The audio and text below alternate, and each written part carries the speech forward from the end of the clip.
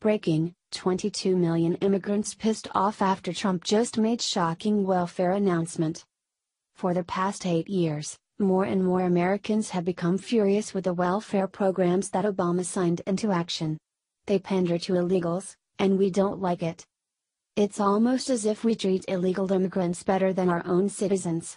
They get free money, free food, free healthcare. All without contributing a single dime to our economy. That's what the Democratic Party wants, though. They don't care if they run this country into the ground, they just give away free stuff so that people vote for them. Then, they let more and more immigrants in, because immigrants typically vote more Democratic. Donald Trump won the election, though. This shows us that the people of America are tired of the constant pandering to lazy leeches, irresponsible decisions, and disgusting liberals. For too long have we been pandering to illegal immigrants, giving them everything they want. No more, though. Donald Trump just made a shocking announcement during a speech at Iowa. According to NBC Cedar Rapids, Iowa, President Donald Trump said in a speech here Wednesday night he would soon introduce legislation that immigrants to America should not receive welfare benefits for at least five years.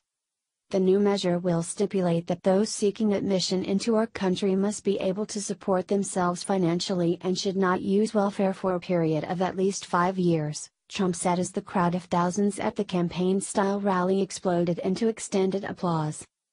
Thank you. This is why we elected Donald Trump. We're sick and tired of freeloaders coming to our country for the benefits, and not contributing a single thing to our great country. The people of America have spoken by electing Donald J. Trump as president, and now he's keeping his word. He also added further commentary, saying that those coming into our country must embrace our values, which most conservatives also agree with. People who come to our country must adapt to our culture. We're tired of entire city blocks not speaking a word of English. We're tired of everything being written in Spanish, of public school teachers having to learn three different languages, and of our culture slowly being eroded. Donald Trump also brought up building the wall, his hallmark, and the cornerstone of his election campaign. We're thinking about building the wall as a solar wall, he told supporters gathered at the U.S. Cellular Center. That way, Mexico will have to pay much less money. The crowd erupted in applause thankful for Donald Trump's commitment to the American people. Ever since he's been elected into office, it's been one win after another. He's the first Republican president who's actually helped our country in years. He's not destroying our economy, he's not bailing out fat cats, he's not starting stupid, useless wars, and he's not pandering to illegals. Some have criticized him for this policy, saying that illegal immigrants need welfare, but most Americans don't care.